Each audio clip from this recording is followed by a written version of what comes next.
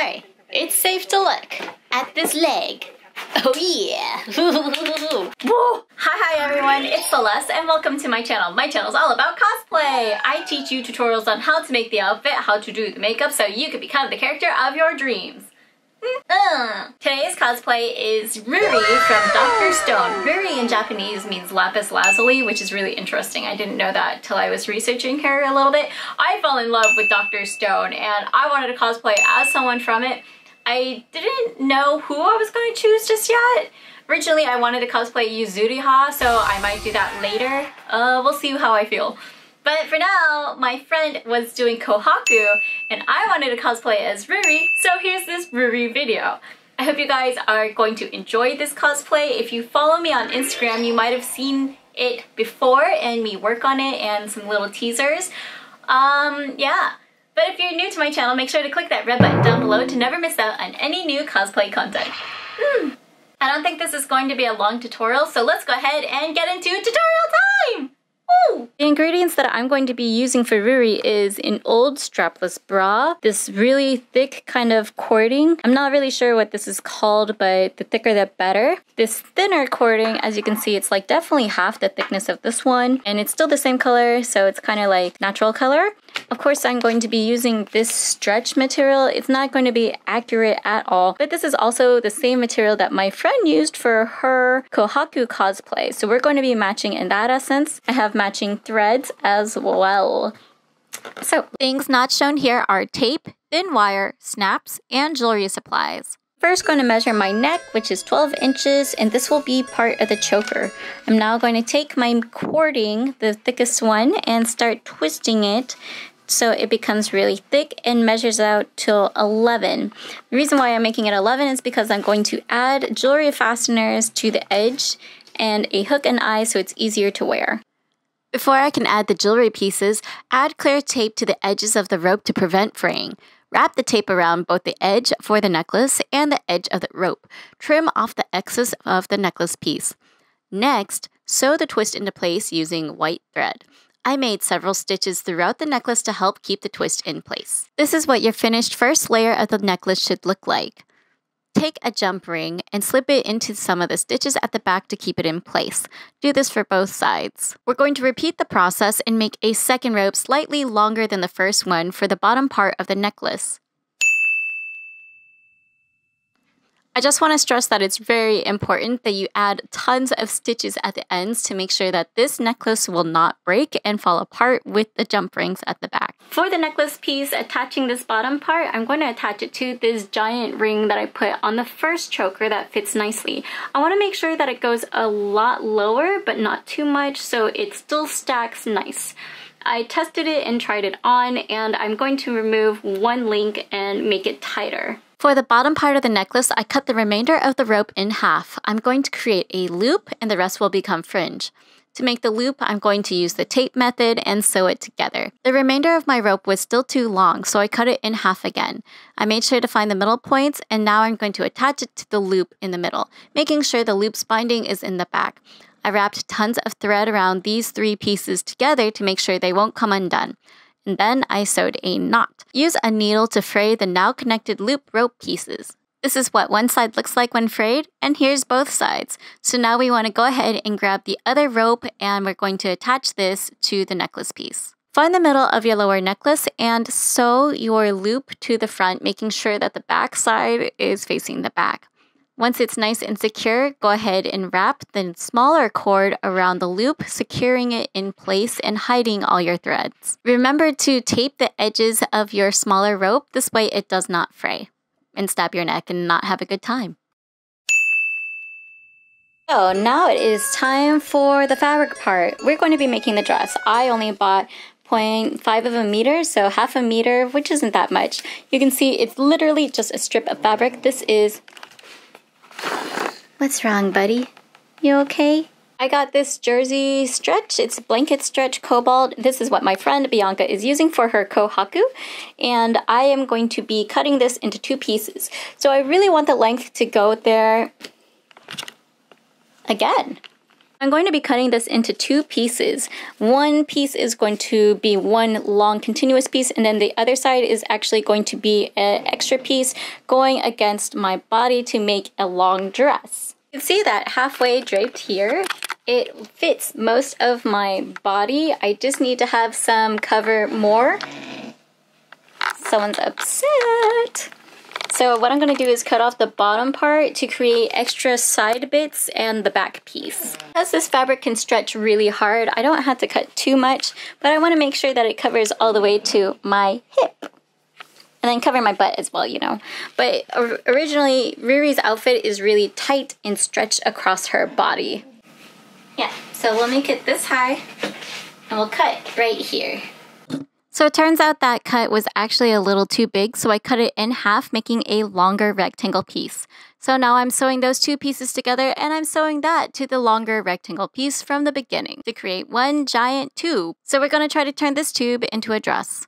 So I went ahead and tried on this huge little tube and then I marked out the parts for making it thinner. This is the booby part. So I'm going to scrunch this a little bit before I add it to the bra piece to make sure it stays up. I'm going to take in some at the sides so it's tighter on my rib cage and waist. And then I mark the spots of where I'm going to be adding the white marking, like the white trim to keep her skirt closed. Oh, well this one came undone. So with the side seams, what I'm going to do is just sew in curved little lines to take it in slightly, and then sew tiny bits here as well. So you'll see I'm just going to basically pinch and pin and make it tighter and tighter.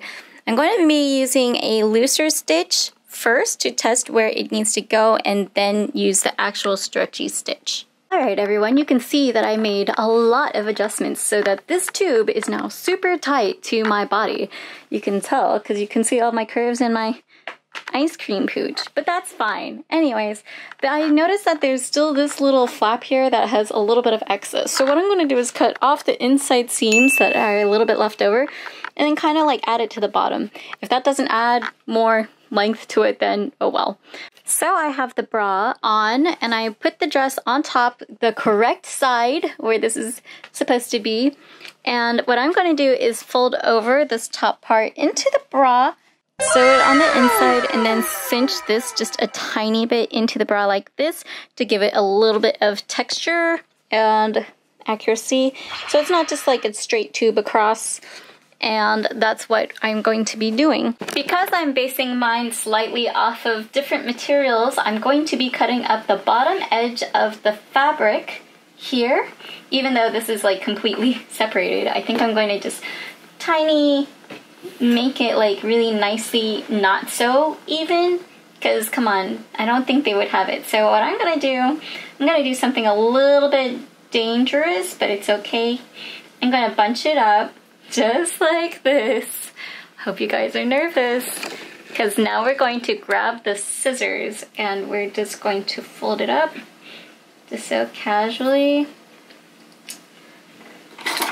And we're going to snip it at an angle. And ta-da, look at that jagged hemline. It's looking great. We didn't want it to be perfect at all, but I hope you guys can see how uneven it is now, which is exactly what I wanted. So now I'm gonna go on this side. I'm only gonna do a little, little sections. You can go a little bit smaller sections, like this. Make a little bud of fabric, and then just cut it diagonally, like so. Ta-da! Oh, okay, that was a little more than I would have liked. So here, we're going to, we're going to twist this part. So you can kind of twist it and see what happens if I twist it. Oh, that made it look super jagged. So the more twisty, the more you gather, it's going to have a nicer hem. So you want to have three spots for that. It fluctuates in different source materials. So what I'm going to do is I'm actually going to create some little nippy thingies here. and I'm just gonna cut it like this. Six centimeters or two and a half inches. So I'm gonna cut three of these and then just place them sporadically on the slit, making sure it does not fall past my knee. And I'm gonna first loop it in one side and then tack it in on the other side with blue string, making sure that I have tape to secure the ends, otherwise this will fray out and we don't want this edges to fray out. So it'll be like an aglet. Okay, that's not the point. So I'm going to go ahead and mark where I'm going to need the three lines here with giant safety pins because I want to be safe. Oops. Bam! Leg. This is what you get. Anyways, so to be safe, I am going to be using super big safety pins to secure the sides and this will give me the right measurement that I want and then I can just go from there. I want these to be symmetrical and safe. Careful, safety pins are safe, but you can still stab yourself. And there we go safety pins. Too bad I can't just use those. But now it's time to go ahead and create our little loopies by cutting it in. We're gonna cut it and then secure one side and just sew it in. What I did for the last part was cut the pieces of the rope, secured the edges with tape, and then I made sure to sew them in place and use tape on top of that, making sure that it was super secure and it will hold the tension between the two parts of fabric. I cut the fabric using tiny scissors. I didn't want to go too far in making too big of a hole. Honestly, the smaller the hole, the better because this is spandex and it's kind of a knit fabric and it's not going to fray. And even if it did fray, it's okay because it's Dr. Stone.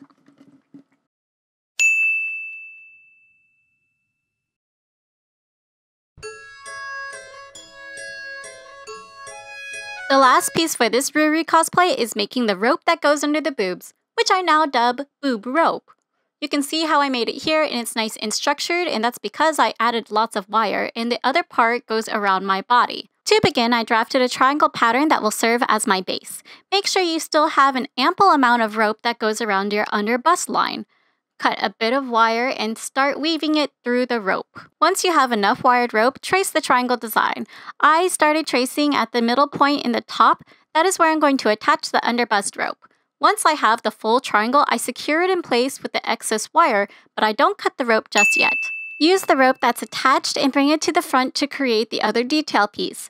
When you find the middle point, cut off the excess and secure the rope with leftover wire or thread.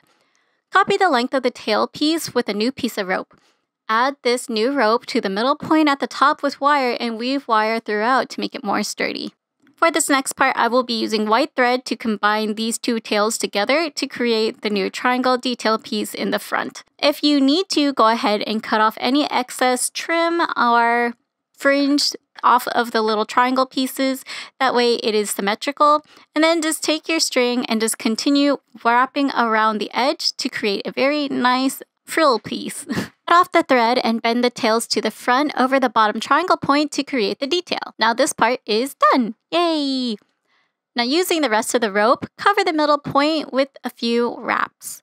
After you're satisfied with the way that looks, go ahead and sew it into place using white thread. For the final part, I just sewed one snap edge to that little thick wrapped part and it helps keep it in place.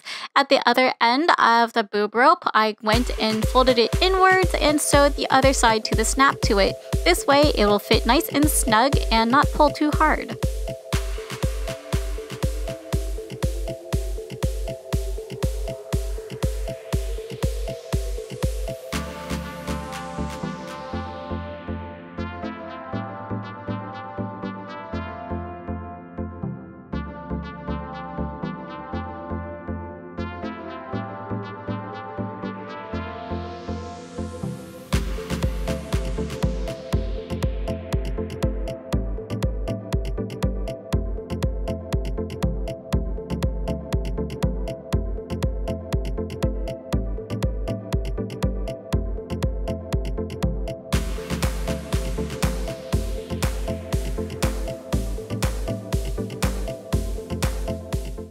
Well, how easy was that cosplay? Just stretch, pin, sew, and there you go. You have a brand new cosplay.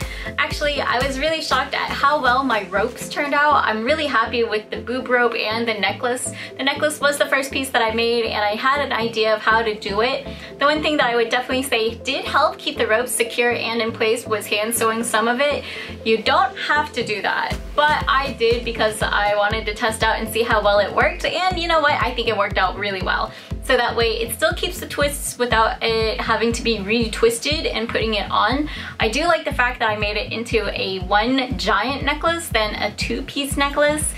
So there's that. I do have to confess though, I did try on my dress and the dress actually came undone at these little loopies here.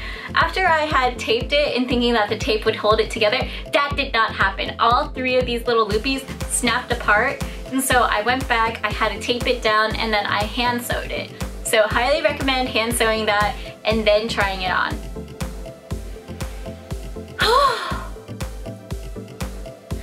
I really enjoyed this cosplay and if you did, make sure to click on that red button down below to never miss out on any future cosplay content by subscribing. Check out some of the videos that are circling around my head and remember to stay inspired, be creative, and I will see you in a future video. Bye!